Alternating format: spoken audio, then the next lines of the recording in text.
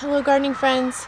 I'm out here in the garden. I am pulling some weeds and putting them in my weed bucket and then I fill it with water, get the dirt rinsed off, make sure I'm not killing any worms and then I pour it back over my cardboard so um, we'll get a peek at the garden in just a second because there are some things looking pretty cool. Um, but I'm going to plant today some quinoa. My friend Elizabeth at Richey Huskey Farms up in Arkansas. Check her out. I'm going to link her channel if you don't already follow her. She's a friend of mine, gardening soul sister. And last year she sent me quinoa and we grew it together and it was really fun. So she said, you want to do that again? I said, yeah. So she sent me rainbow, brightest brilliant rainbow quinoa. So this is cool and I'm excited and this time I'm actually going to eat the quinoa. I still have my quinoa from last year that I need to eat, but I eat quinoa. I just, I ate it just a couple days ago. I love it. Um, I'm also going to plant some flax. So I'm just trying out different grains to see what's easiest to grow because it's good to have a grain to grow. I grew wheat, but I didn't do anything with it. So yeah, just trying stuff out. So I'll give you a little peek at the garden and then we'll plant some seeds and that'll be it. Alright, so this is where I'm to plant them. I have one row here that is peppers and tomatoes and they need a fence. And then I have um, strawberries in those three rows. You can see some strawberries coming out already. Um, but I have two empty rows, so I'm to use this one here. And I'm to put the quinoa here. So these are just dig and flip if you don't know. I, I just dig and flip and then go to the other side, dig and flip and basically make this line and it makes it like a raised, you can kind of see how it's raised up, right? So that allows for me to A, fertilize on the sides and then B, keep the whatever the plant is from getting soaked and soaked when we get a lot of rain. And for the strawberries, the idea is for them to drop off the sides like that so they're easy to pick and they don't you know get buried so that seems to be going well all right, so let's plant some quinoa. So these, this, this area was covered all winter with mulch, um, but I've uncovered it just a little bit ago, so it's a little dried out. But once these come up, I will mulch again. All right, so they're supposed to be burgundy, green, orange, pink, white, and yellow. Quarter inch deep after last frost. 6 to 12 inches apart. Prefers warm days and cool evenings. I can't promise the cool evenings, but I got you on the warm days. Last year when I grew these, I grew them way out at my faraway garden.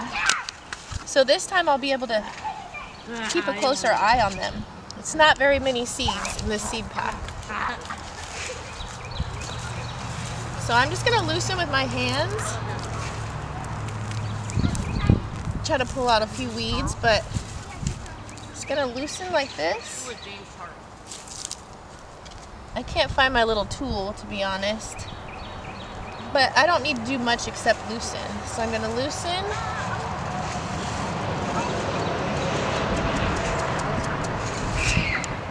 And then I'm just gonna scatter.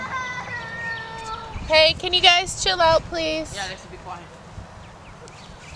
And then I just, you know, cover it up.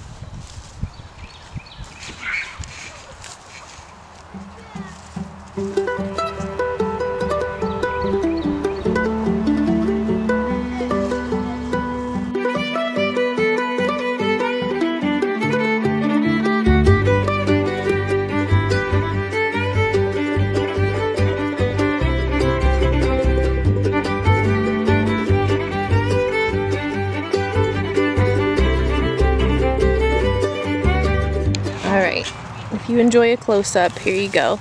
I wanted to um, show you another cool thing about these dig and flips is that on the side, let's see if I can find a spot. All along the side here, I would put wood. So look, if you lift this up, this is just a branch from a tree. But it's being eaten. Look, there's a big worm right there. Hey, get back here. Get back here, worm. Anyways, the worms love it. It's just like, it's kind of like hugelkultur, but on the side. So that's a good way for me to build my soil. Okay, I'm almost to the end here. And that's another thing that's hard about, you know, having gardens outside of fences. I really don't like fences. I like to be able to walk right up to my garden. It just feels free. But you run the risk of your animals coming in and messing with your garden. So there's always positives and negatives to every choice. You choose your choose your battles. So this soil was pretty easy to work. So I'm just loosening it a little and then I've got one hand now so and I probably should do as an experiment that's what I'm gonna do I'm gonna get some of the quinoa that we grew last year and I'm gonna plant it on the other row and just kind of see how the seeds that I saved did versus these new seeds and that'll be it so here's the seed packet awesome Thanks again, Elizabeth. You rock. All right, so I found the quinoa that I grew last year and I haven't even holed it yet. I did get it off the stems, but as you can see, it's still in a bit of a hole. So I believe if I just sifted it and did this, yeah, there's the actual quinoa in there. So I am going to plant some of this in this row here and it's just one row over from that. And then I'm gonna water it all in and we'll check back when it starts growing. All right, so I'm gonna water these in. And I wanted to say that the ones that we grew last year were a cherry vanilla. So those are the ones that are over there by my dogs. Get on, doggies. So we'll see the difference in the color. I'm really excited. I also transplanted some more tomatoes today. It was kind of a cool morning. Ooh, just got wet. Um, but not too hot of a day for a transplant, so I think that's going to be good. So I've got tomatoes out here and then tomatoes on my one other fence in there. I'm probably only growing maybe like 10 tomatoes though, so I don't need too many.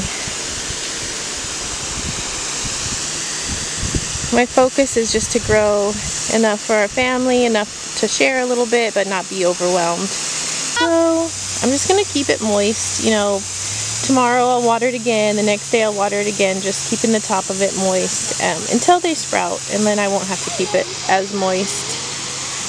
And that's that's pretty easy style what I do. And then the cool thing about these is you can run the mower right between them, and then I just mulch around the edges. I just don't have any mulch right now because obviously I need to mow the grass not enough hours in the day for all the gardening that I want to do. So I'll update you guys soon. Thanks for watching. Bye.